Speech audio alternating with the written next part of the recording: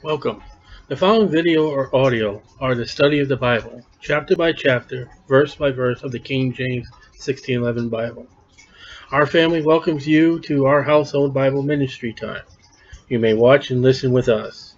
Our goal has been from Genesis to the book of Revelation.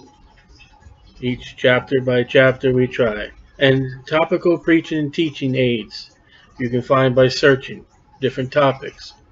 Study to show thyself approved unto God, a workman that needeth not to be ashamed, rightly divine the word of truth. Come and appreciate the word of God for our spiritual growth, our development in the word of God by these lessons. Please feel, feel please feel welcome to upload and share our Bible study with family and friends. Like us, subscribe, write a comment, let us know you heard the message. The video or audio are not copyrighted and should be used and not abused. Thank you.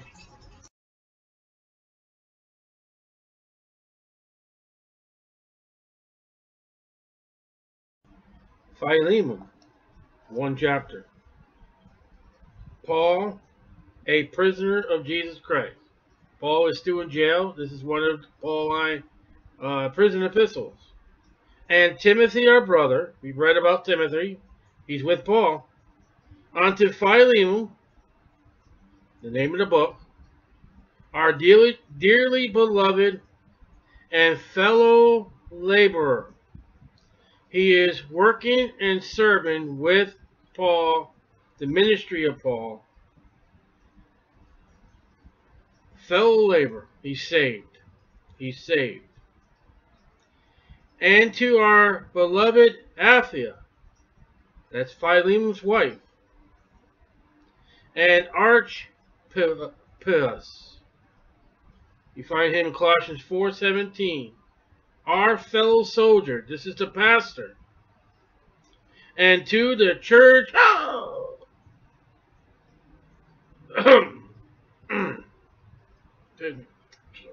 and to the church. I'm sorry. In thy house Philemon's house. There's a church in Philemon's house. Grace to you, Philemon, and peace from God our Father and the Lord Jesus Christ. There's more shock to come in this book than that uh, living room ministry. Oh, let me read on. I thank my God, making mention of thee always in my prayers. Philemon is the subject of Paul's prayers. Hearing of thy love and faith. Philemon loves and has faith which thou, the Philemon, hast toward the Lord Jesus and toward all saints. He has love and faith to God first and then to the people that are saved. He has love and faith to the Lord Jesus and to the saved people. That the communication, the, the conduct, the living of thy faith may become effectual. That is, result from, produce, by the acknowledging of every good thing, Philippians 4 8, which is in you in Christ Jesus. He is living the faith. It has become a produce. It has added. It has brought fruit. He is aware of good things. Philippians 1 9. But we, Paul and the company, have great joy and consolation in thy love. Some of you people that are listening to this, you think I'm going crazy or something, but I'm doing this for a reason. he has and is known of his love. Again, verse 5, verse 7, love. Because the bowels of the saints are refreshed by thee, brother. He helps and takes care of Christians. And Paul calls him a brother in the Lord. Interesting. The character of Philemon. Wherefore, though I, Paul, might be much bold in Christ, he's a little more bolder in Christ than Philemon is, to enjoin, which is order with urgency,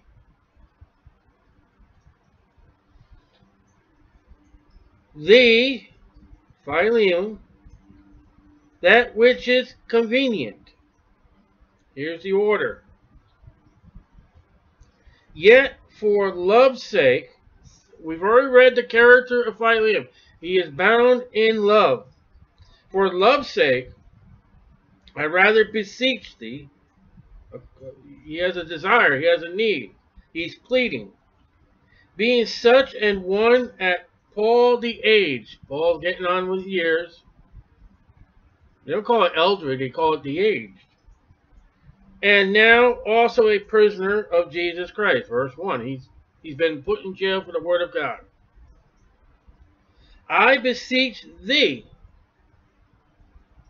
for my son Onesimus. Now this is not Paul's biological son. This is the same kind of son Timothy and Titus. These are men that were involved in Paul's ministry and who received the Lord Jesus Christ. And Paul has taught them from being newborn and raised them to whenever they would have ability to show themselves of some kind of growth. Okay, so we got a letter to Philemon. We got his character. We're talking about Paul. Here's a new man on the scene, Onesimus, whom I have begotten in my bonds. Titus 1 4, 1 Timothy 1 2. This is the subject of this letter. Which in times past, he was lost. Onesimus was lost. Was to thee Philemon, unprofitable. There was no good in Philemon when he was lost. In the duty of Philemon. But now, saved. Time past, lost, now he's saved.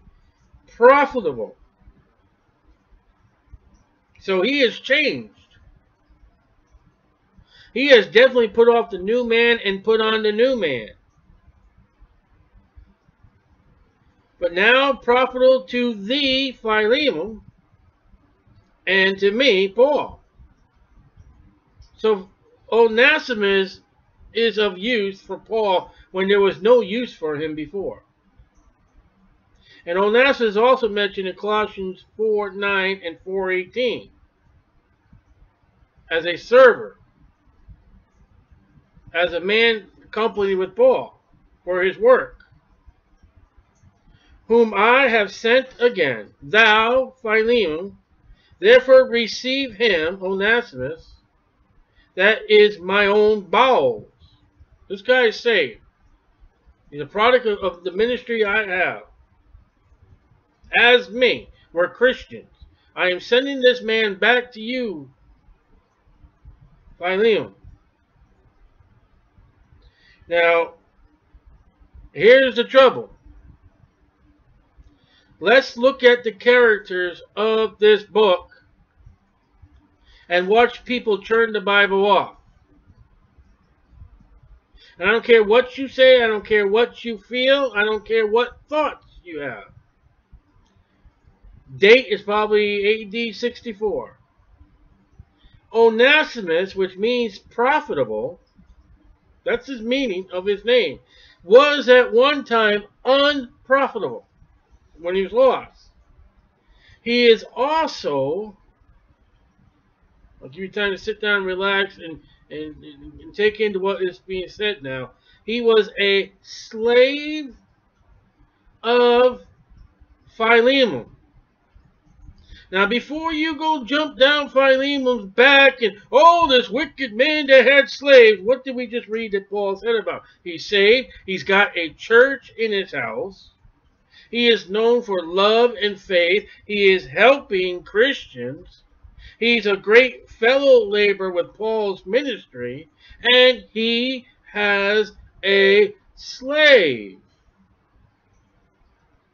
He's from Colossae. Onesimus is a runaway slave who ran away and ended up under Paul's ministry, who got saved and became a worker in the service for Paul. And Paul is saying, Philemon, I'm writing you a letter that ends up in the book of the Bible, the 66th book. And what this letter is about is here's this runaway slave. I want him to come back to you. There's one difference. He was of no use to you before. I get that. Verse 11. But now he is he is our brother in the Lord. He is saved. He is profitable to you. I want you to take him back. Paul, you wicked fellow, you. You are sending a slave back to his slave owner. So you're supposed to put him on the Underground Railroad.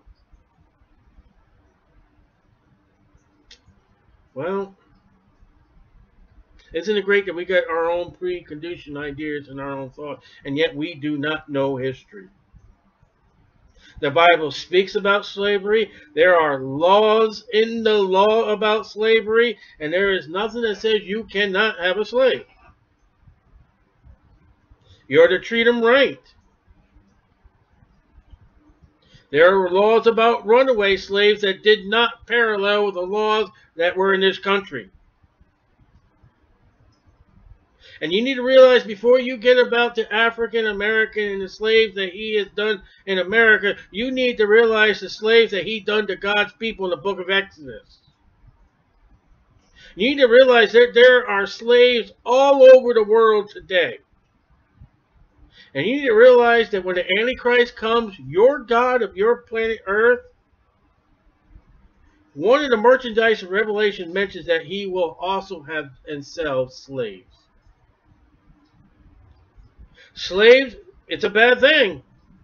But, you know, a person in America could be working under an employer and be slave to that employer because of nothing they can do, nothing else they can do, because they are bound to do what that employer does because they need that money of hardship and living.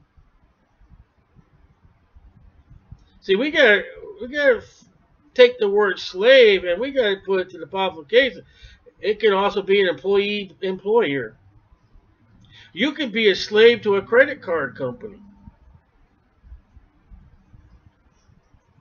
I'm not going to say it's right. I'm not going to say it's wrong. I'm not going to talk about the history because the history is gone. It hasn't happened. But you know what? When it comes to this personal thing about slavery, it is happening today somewhere. And it could be not works. It could be a slave trade. It could be a sexual trade. And there is a case in the Bible. Now, now, now, now, let's look at this too. Philemon, a slave owner. He is type of God the Father in this book. Paul is going to be a type of Jesus Christ. And Onesimus is a saved sinner. And do you know that before I was saved, I was enslaved to the world and Satan? I was lost and unprofitable to God in every shape and form. And I grew up in the Roman Catholic religion, and everything I did was unprofitable to God. And when I became saved by the shed blood of Jesus Christ, the finished work of Calvary by the empty tomb. I am a Christian. I became profitable to God, more so from Christians who don't do anything for the Lord. Now I have become a servant voluntarily to God my Father, so I am still, I'm a saved slave. Saved slave. That's a tongue twister. But not if I have to, it's because I want to. There were some slaves that, you know what, they wanted to, they loved their master. It was recorded in the Bible after a certain amount of time, you're to release that slave. And if he says, you know what, I love my master, I love my family, I want you to put an earring in my ear, and I'm going to become your faithful servant for life. And these idiots march around with earrings in their ear and then proclaim that slavery is wrong, and they don't even know what the Bible says about a man with an earring. The hole in the ear. I'll leave you for the look at that in the Bible. It's called an awl. A-U-L. King James Bible would be most helpful. So this runaway slave runs into Paul. Whether he was arrested or not, Paul came across this guy. This guy, Philemon, I mean, excuse me, Onesimus, is saved. Paul has raised him up a little bit. And now he says, you know what? It's time to go back to your, to your owner. Problem is, oh, it's not a problem. Your owner, Philemon, he's saved. He's a brother in Christ, and I know him.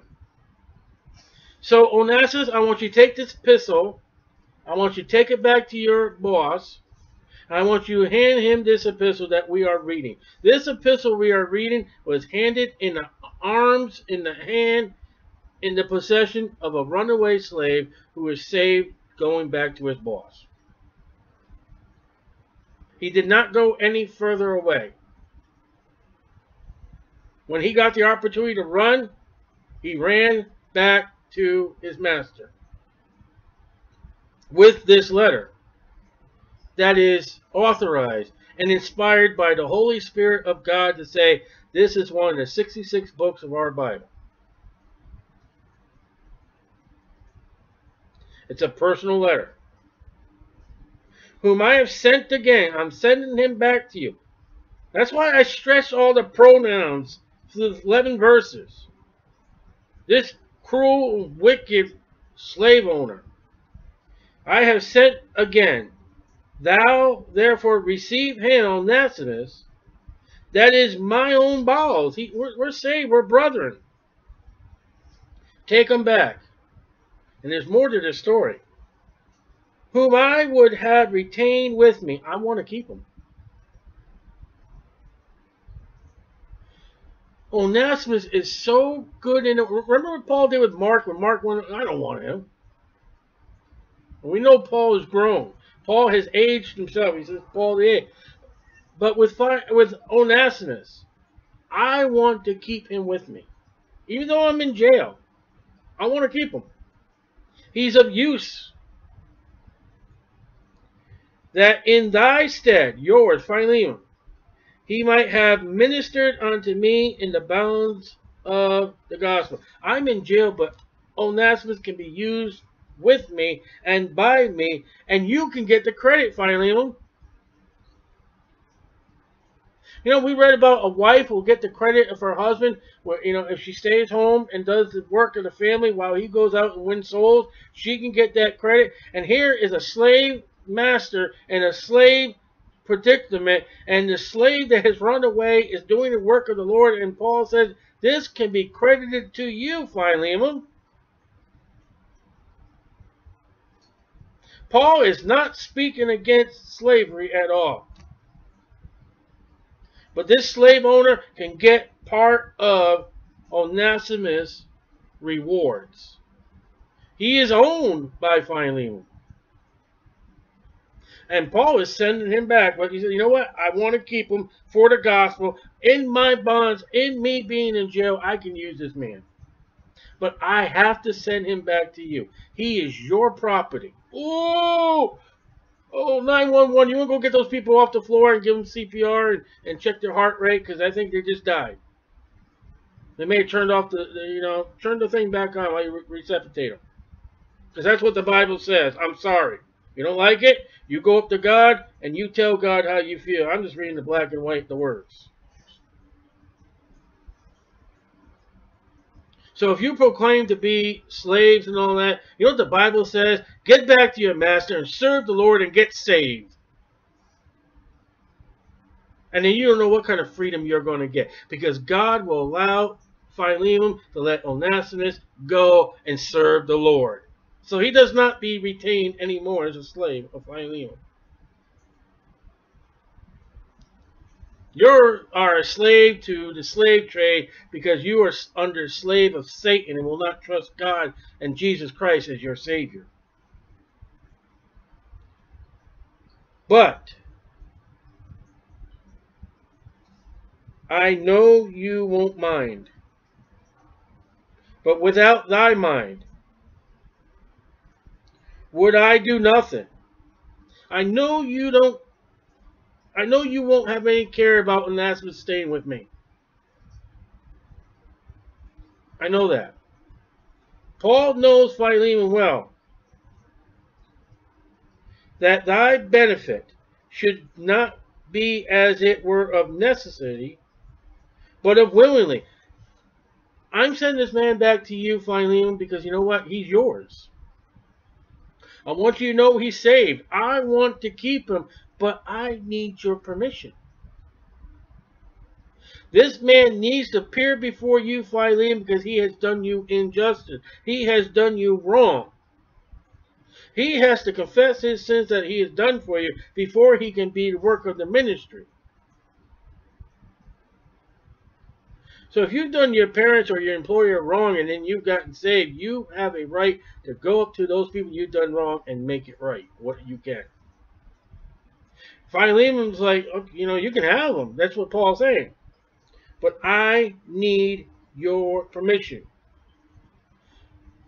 If you're going to let him come back to me and do work, it's got to be you willingly. This is not necessary. This, I, this is not by force. You want to keep him, you keep him. But I like to have him back. For perhaps he therefore departed for a season. He left you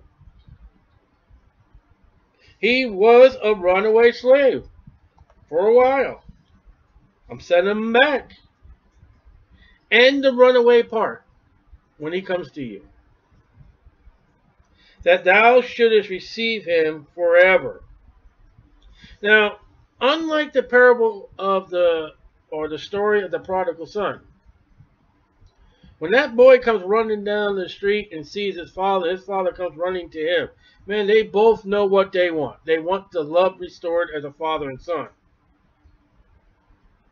When this man turns back to Philemon, Philemon has no idea what's happening, what's going on. As far as he knows, until he gets this letter, you were one of my slaves. And Onesimus, man, he is hopping, skipping in her heart. I got the joy, joy, joy down deep in my heart. Because I'm saved. And wait till he reads his letter. And then when guarantee when he reads his letter, it's like, oh boy, you're one of you're one of us. You're saved. You're a child of God. And then by Colossians 4, 9 and 4, 18, we know sets him free. Go ahead, go. Go serve the Lord. Thou shouldst receive him for, or if he's going to stay, receive him. Not now as a servant, the old man, the, the slave, the lost man, but above a servant a brother beloved, there's a new man, the new creature. Philemon, when he comes to you, you think he's that slave. You think he's that runaway slave, but guess what? Put your arms around this guy, give him a kiss, welcome, because he is our brother. Now, can you just see the, the tears of this man now. Here he is standing at a guy who had no use, no purpose. He's gone. He's marching up the driveway. He's marching up the path, whatever it is, and we're saved. And I come from Paul, which they both know. And Paul really wants to use me, but I am yours. And again, Colossians 4 9 and 4 18, he lets, he lets um, I keep on saying one finally. 4 9 and 18, he lets Onesimus go and serve the Lord. That is how overjoyed Philemon was. Go. I could keep you here, but if Paul can use you, if Paul has great characteristics speaking of you, go. Go and serve the Lord, brother. Now let me ask you, I don't know, maybe I'm reading the story, maybe it's wrong. If it is, I confess the blood of Jesus Christ is a fault. But what if Onesimus had family working with Philemon? Wouldn't that be a little more closer to Philemon? Maybe put a little more attention to them? I don't know. That's that's extra. I could be wrong. Beloved brother, especially to me, Paul. Man, Paul has respect for Onesimus, the runaway slave. But how much more unto thee, Think about what this guy can do for you finally on now. He's saved. He's a child of God. He might be able to witness to all your slaves. Maybe some of you can't you can't get a hold of. Some of them you can't reach out to. Here comes one of them. Maybe he can get to. Them. I don't know. He could do you good now, Philemon.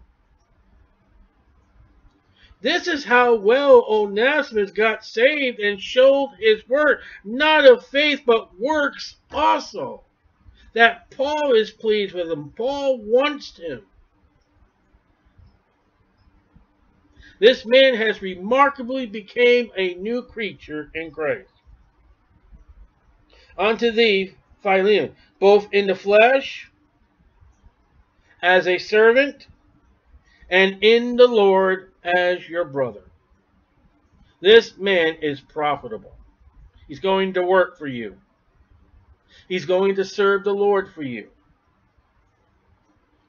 If thou, Philemon, count me therefore a partner, 2 Corinthians 8.23, receive him as myself.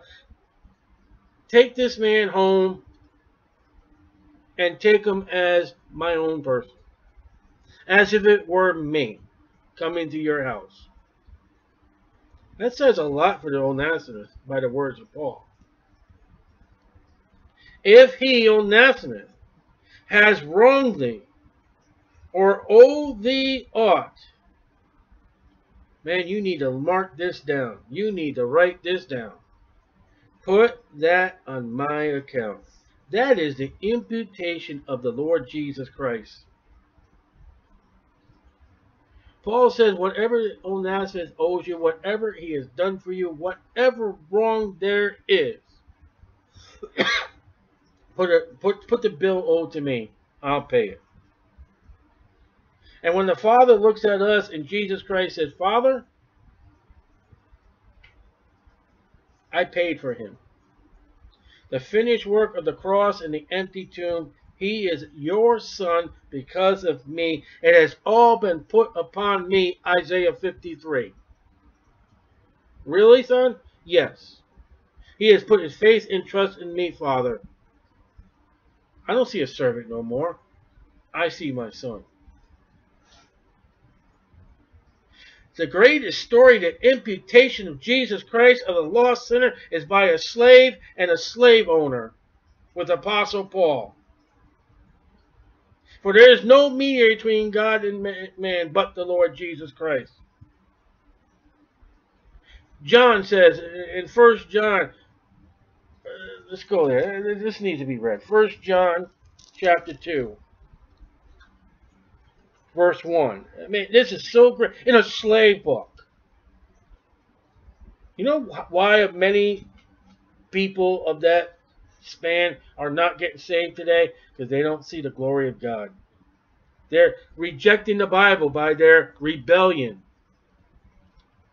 My little children, these things write unto you, that ye sin not. And if any man sin, we have an advocate with the Father, Jesus Christ the righteous. Isn't Paul righteous? And he is the propitiation for our sins, and not for ours only, but also the sins of the whole world. When you become a child of God, you have put all your sins upon Jesus Christ. And Paul gives the greatest time. Whatever he has done you wrong, I'll pay that bill. Jesus says, whatever sin, the Lamb of God which take away the sin of the world, I took it on the cross. Acts 20, 28, the blood of Jesus Christ. Imagine finding that in a slave book. Mark that. Write that down. Highlight. However you mark your Bible. It's to put on someone else's account. Imputation. I, Paul, have written it with my own hand. Oh. You know what Paul's saying there? Some Bibles are rightfully the words of Christ are in red. The Holy Spirit has written it down. These things have I written that you may that you might know you have eternal life. John concludes the gospel. These things are written that you can be saved. I will repay it. Paul. Paul has done nothing to Philemon. And yet, he takes the payment. Jesus Christ has done nothing and he has taken my payment, which I've done it all. I've run away from God many times before I was saved. I run away from God in rebellion sometimes now that I am saved. But I have that advocate. Albeit I do not say to thee how thou owest unto me even thy own self beside. Oh, Paul. Philemon, you owe me your life. Okay? You want to write that one down Philemon? You know, you know what Jesus Christ, you know what God could say? To hell with you. Uh, Jesus. I'm worthy of death before God the Father. But Jesus laid down his life.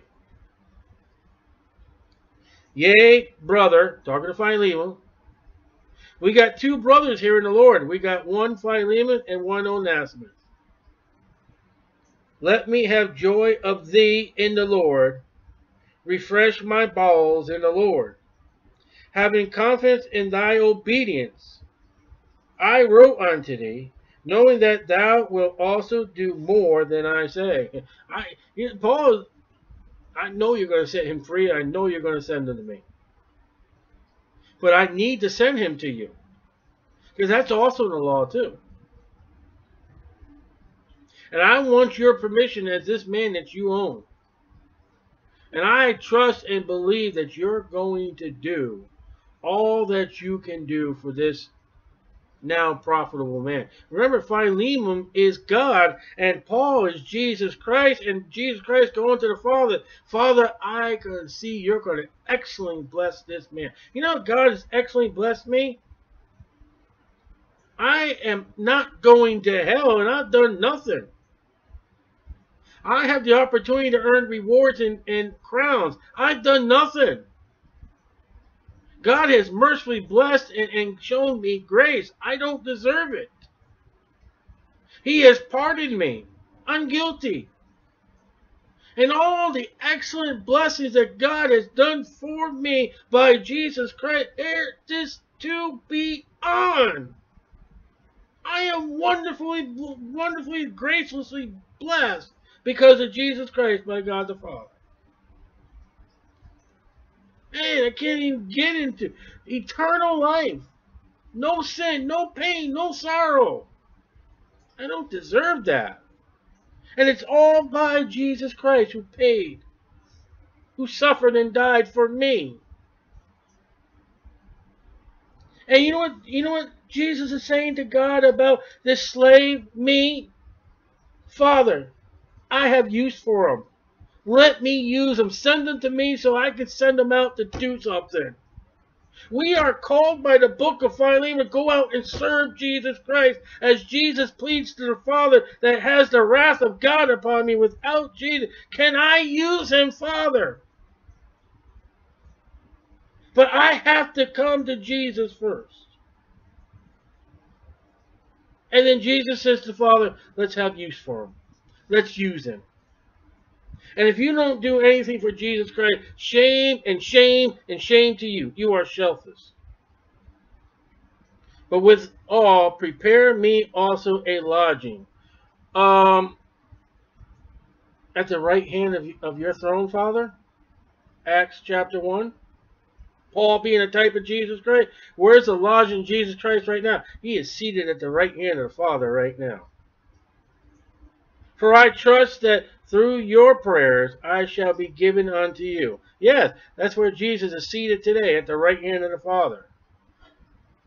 Therefore salute thee, Epaphroditus. Colossians 1 7. My fellow prisoner in Christ Jesus. So here's a guy who was either still in jail, was done time with Paul, but whatever it is, in times past, these two guys were in jail together for the Lord and he's now with Philemon in his church, in his house, his living room ministry. Marcus, Acts 12, 12, and 25. Aristarchus, Acts 19, 20. Look at the people that Philemon knows. He knows people that are serving the Lord and doing right, and yet he's a slave owner. Demas. Do you remember what 2 Timothy 4.10 said about Demas? He was doing right. He was under Philemon house church ministry and doing right.